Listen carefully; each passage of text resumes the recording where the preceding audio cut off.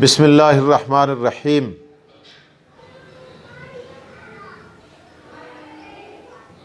आज से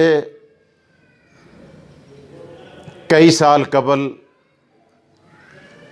तेरह जुलाई को कश्मीर के अंदर भारतीय डोगरा फ़ौजों ने एक मुसलमान को आज़ान देने के जुर्म में शहीद किया। और जहाँ से उसने अज़ान छोड़ी थी, दूसरा मुसलमान उठा और उसने अज़ान शुरू की, उसको भी शहीद किया। ख़त्ता के बाईस मुसलमानों ने अपनी जान के नजराने पेश किए और जाम शहादत नोश किया।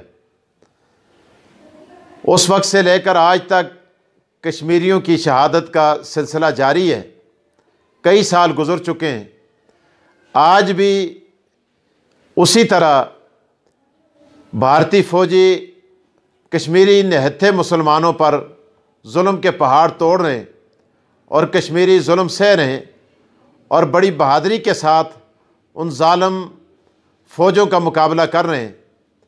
तो बहरहाल, आज के दिन हम अपने उन कश्मीरी भाइयों को जिन्होंने शहादतें देकर अपनी धरती के लिए अपने खून के नजराने पेश किए हैं हम उनको सलाम पेश करते हैं, उन माओं को भी सलाम पेश करते हैं कि जिन माओं ने अपने बच्चों की कुर्बानी दी, उन बहनों को हमारा सलाम है कि जिन बहनों ने अपने भाइयों की कुर्बानी दी, उन बीवियों को सलाम है जिन्होंने अपनी खानदों की कुर्बानी देकर अपनी इस महबूब धरती की खातर और इसकी आज़ादी की खातर अजीम कुर्बानी पेश करके एक मिसाल रकम की है।